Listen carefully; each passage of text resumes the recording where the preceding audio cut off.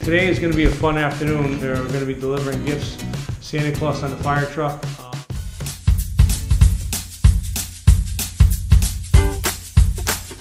You can have the truck back in the station before the frees up, because I don't want